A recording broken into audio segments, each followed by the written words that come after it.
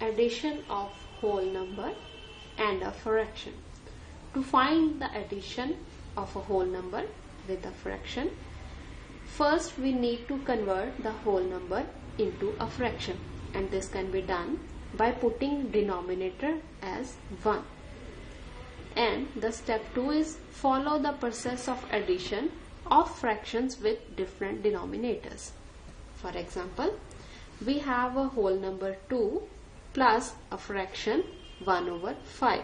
So, first we need to convert the whole number into a fraction. So, it can be written as 2 over 1. Now, it is a fraction plus 1 over 5. Now, solve it like a addition of fractions with different denominators.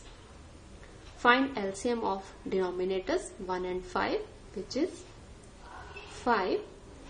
Now divide 5 by 1 which is 5 and multiply with the numerator plus divide 5 by 5 which gives us 1 as quotient and multiply with the numerator.